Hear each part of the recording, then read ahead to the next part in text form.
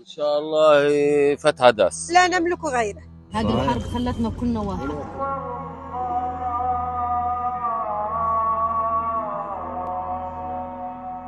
الآن سأخوض تجربة الإفطار مع عائلة نزحت من مناطق مختلفة. سندخل الآن هذه الخيمة. السلام عليكم ورمضان كريم وإفطار مبارك.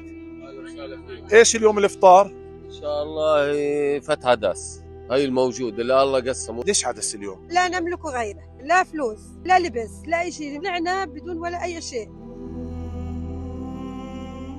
بس إيش الروكة والشغلات هذه يعني؟ في ليمون مكبوس بالفلفل الاحمر انسى شو نمو. إحنا عائله نزحنا من شمال قطاع غزة من بيت حنون إلى رفح. إحنا تقريبا 28 نفر.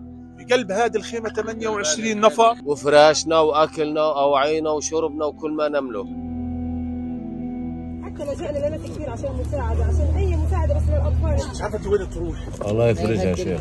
هذه الحرب آه. خلتنا كلنا واحد. في مشكلة كمان بنعاني منها برفح غلاء المعيشة.